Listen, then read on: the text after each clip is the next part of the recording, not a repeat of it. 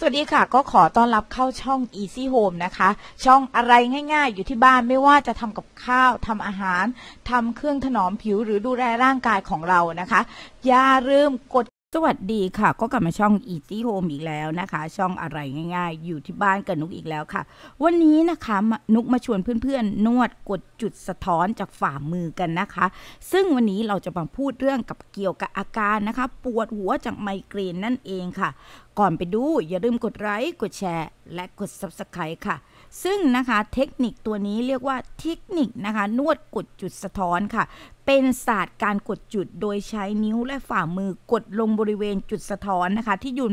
ที่อยู่บนฝ่ามือไม่จำเป็นต้องใช้อุปกรณ์หรือเครื่องมือใด ๆ ในการกดค่ะ การกดจุดสะท้อนนี้จะส่งผลถึงอวัยวะ หรือบริเวณต่างๆ ของร่างกายนะคะ เพื่อช่วยบรรเทาปัญหาสุขภาพ และยังทำให้เกิดความสมดุลของร่างกายนั่นเองค่ะ โดยสามารถผสานการกดจุดสะท้อนร่วมกับใช้ครีมต่างๆ ได้นะคะ ซึ่งวันนี้นะคะเรามาดูกันค่ะสำหรับ คนที่มีปัญหา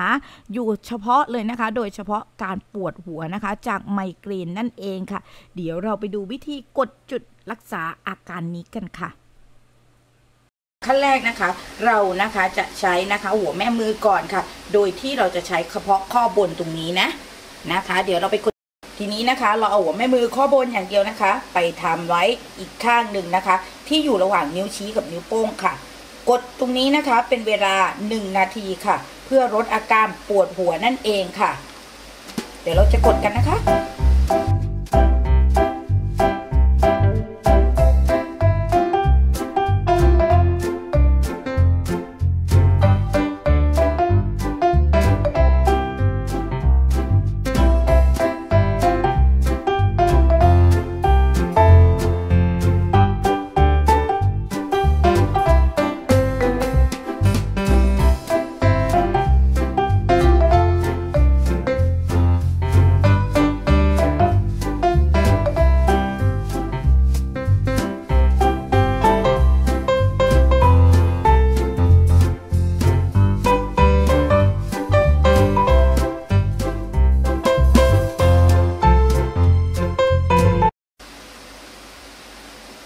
ดเบาๆนะคะ ให้รู้สึกตื้อๆนะคะ เดี๋ยวเราทำอีกข้างหนึ่งค่ะ